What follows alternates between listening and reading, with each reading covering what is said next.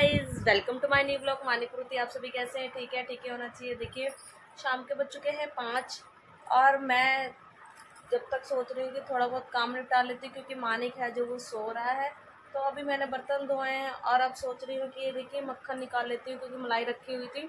तो इस वजह से नहीं तो फिर ये सारा रखा रहेगा, उसके बाद ये मक्खन वगैरह निकालने के बाद फिर करेंगे। जो कपड़े रखे हुए वो तय लगाएँगे, क्योंकि फिर मालिक का उठने का टाइम हो जाएगा तो सारा काम फिर रह जाता है। इस वजह से बर्तन वगैरह धुल के मक्खन निकालने के बाद फिर कपड़े तैयार लगाऊँगी। तैयार लगाने के बाद देखते फिर उसको थोड़ा सा पार्क या नीचे गली में घुमा के लेके आऊँगी क्योंकि बहुत ज़्यादा बेचारा बोर हो रहा था।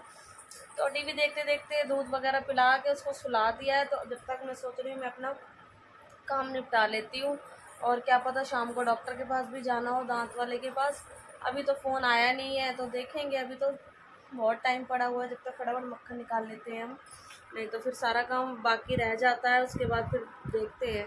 देखिए गाइस फटाफट हम निकाल लेते हैं मक्खन, क्योंकि बाकी फिर काम करना होगा, उसके बाद नहीं तो फिर सारा काम रह जाता है।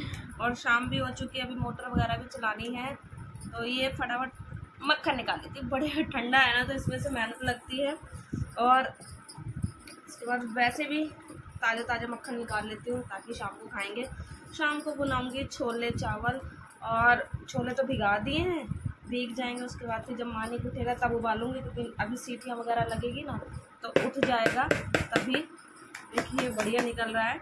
मैं अभी सीखी हूँ, मम्मी ने मुझे सिखाया नहीं तो पहले मुझे आता भी नहीं था, कुछ ये सभी करना तो फिर मम्मी ने सिखाया था मेरे को। फिर अब वो जब भी कहीं जैसे जाती हैं तो फिर मैं निकाल लेती हूँ, नहीं तो वो निकाल के देती हैं मक्खन मेरे को। जब रहती है तो निकाल देती हैं। जब जैसे कहीं गई हुई हैं तो फिर मैं निकाल देती हूँ। नहीं तो मम्मी रहती हैं तो वही निकालती हैं। नहीं, मुझे तो आता भी नहीं था पहले, फिर उन्होंने ही सिखाया ये सब चीज़ें करनी। बाकी काम भी बहुत चीज़ें हैं जो उन्होंने सिखाई है। और देखिए आज कल मैं आने वाली होंगी। आज तो मैंने फ़ोन किया था तो उठाया नहीं है। उसके बाद शाम तक देखते हैं, फिर करेंगे। फिर पूछूँगी, क्योंकि गर्मी बहुत ज़्यादा हो रही है। फिर बेचारे इतनी दूर से कैसे आएँगे? देखते हैं। कितने बजे तक उनका आना होता है? या दो तीन दिन में आएँगी या कब आएँगी, अभी कुछ भी नहीं पता। और कितना बढ़िया मक्खन निकल रहा है। बहुत बढ़िया। दिखाती हूँ मैं आपको। ये देखिए, मुझे तो नहीं लग रहा था इतना अच्छा निकलेगा मक्खन। बहुत अच्छा निकल रहा है मक्खन। ये देखिए गाय फटाफट निकाल लेते हैं। और ये जो दूध वगैरह छोड़ता है, ये छोड़ दिया है। अब बहुत निकलने ही वाला है, थोड़ा सा रह गया थोड़ा सा ये देखिए बाहर तक गिर रहा है छीटे मार रही हैं। ये मक्खन है जो लगभग थोड़ा बहुत रह गया है और करने के लिए वैसे तो निकल गया है। थोड़ा सा ये देखिए छीटे वगैरह पड़ रही हैं। मेरे से तो हो ही जाता है ये सब चीज़ें लेकिन मम्मी बड़ी जल्दी निकाल देती हैं और आसानी से भी निकालती हैं। ये देखिए एक हाथ से तो कभी भी ना निकले लेकिन कोशिश कर लेते हैं। गाइस हमारा मक्खन निकल चुका है और हम अब हम इसको धो लेते हैं साफ़ पानी में, ठंडे ठंडे में। ताकि साफ़ से धुला रहेगा ना तो फिर सही रहता है ये। इसलिए मम्मी ने मुझे बताया था कि जितना साफ़ पानी से धुलोगे, उतना सही मक्खन निकलता है। ये देखिए ताज़ा ताज़ा मक्खन। ऐसे ऐसे करने के लिए उन्होंने बताया था। ये देखिए, कितना बढ़िया। मक्खन बढ़िया सा निकल गया है। और इसको टिफ़िन में रख देते हैं फटाफट। बर्तन वगैरह जो हैं, ये अब धो लेती हूँ, उसके बाद फिर फटाफट कपड़े तय लगाती हूँ, क्योंकि साढ़े पाँच हो गया है बड़ी जल्दी हो गया। टाइम पता ही नहीं लग रहा है कि यहाँ से क्या हो रहा है। देखिए, बढ़िया निकला है मक्खन। देखिए, फटाफट सारा काम करके आ चुकी हूँ। बस ये कपड़े तय लगाने और बीच ना मानिक भी उठ गया था तो उसको दूध पिलाया, उसके बाद फिर वो सो गया है।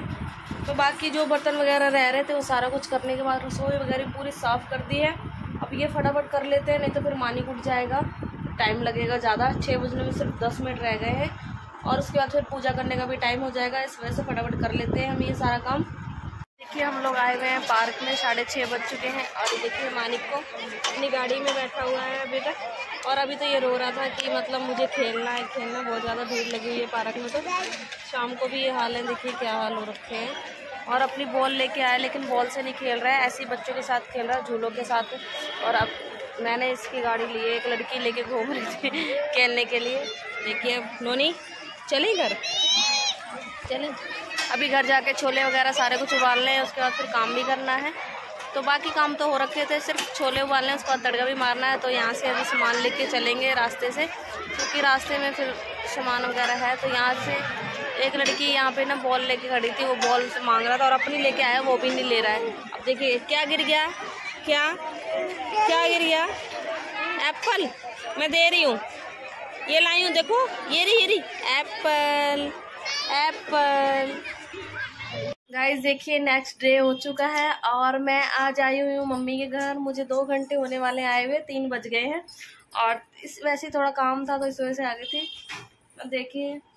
बाहर कितनी धूप हैगी, ये देखिए पार्क में। यहाँ तो पता चल जाता है क्योंकि बाहर और हमारे यहाँ तो पता ही नहीं लगता, घर के अंदर रहो तो कुछ दिखता ही नहीं। गैलरी वगैरह खोल के रखो तो ही पता चलता है इतनी धूप है। नहीं तो नहीं चलता, देखिए। शाम को घर चली जाऊँगी या तो पार्क में जाएँगे, देखते हैं, अभी नहीं पता।